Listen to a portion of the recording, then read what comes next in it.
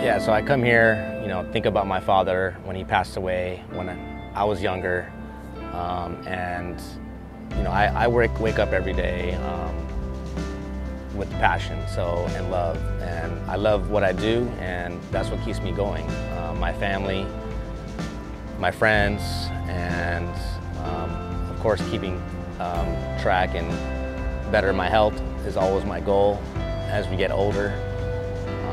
Many friends, close friends, you know, passed away recently and so young and can't take life for granted and you know life is short so you got to have fun a little bit and just decompose and make sure everyone around you, your friends, family, they're all good health. That's, that's what's important in life.